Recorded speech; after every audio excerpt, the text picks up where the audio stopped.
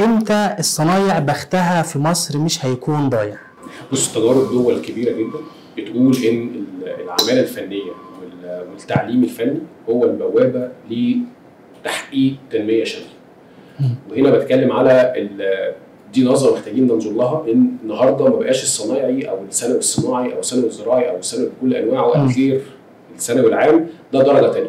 النهارده بنشوف الدولة بتعمل مدارس تكنولوجية بتستهدف بيها خريجي آه، سواء المرحلة الإعدادية اللي عايزين يبقوا في تعليم ثانوي آه، فني أو خريجي الثانوية الفنية. المفاجأة اللي يمكن مش كتير من الناس تعرفها إن عدد القبول في المدارس دي كبير جدا وبيتاخدوا بالدرجات عالية جدا.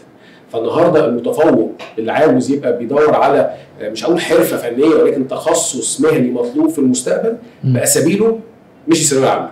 أنا يمكن لو بنبص كمان خمس سبع ل 10 سنين بالكتير هتبقى الثانوية العامة هي المسار اللي بياخده الشخص اللي مش عارف مستقبله رايح لفين. إحنا بنعكس الصورة.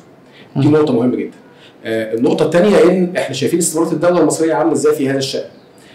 ده مش جاي من فراغ، ده جاي من دراسة لتجارب التغير في الدول بشكل كبير. ده جاي في آه، آه، على الحقيقة دراسة أهمية الكوادر اللي خارجة ال- الوظائف المستقبلية المهارات ال- ال- المستقبل محتاجها وبالتالي إحنا بنأهل شبابنا من دلوقتي الواقع بيقول إن مش تعليم تقليدي هو اللي محتاجينه في المستقبل. وبالتالي ال- الحلم اللي كنا بندور عليه فكرة التنازل عن كليات القمة وإن أنا ما بقاش بدور على مجرد مجموع عشان أدخل كلية آه، من كليات القمة بقى البحث عن التخصص الأقرب ليه ال- التخصص اللي مطلوب في السوق. دي دي النظاره الجديدة اللي أتوقع المجتمع بدأ ينظر بيها لسوق العمل بشكل عام وتحديدا ال- ال- الوظائف المهنية أو الفنية بشكل خاص.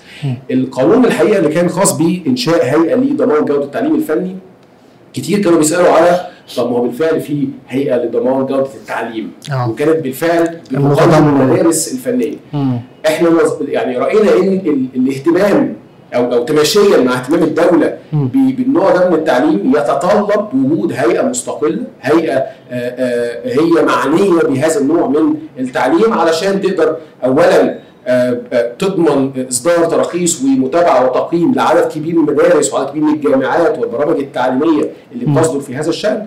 الحاجة الثانية أهميته وخفف شوية من على حمل هيئة آه، ضمان جودة التعليم تركز أكتر في التعليم. آه، آه، بمراحله المختلفه.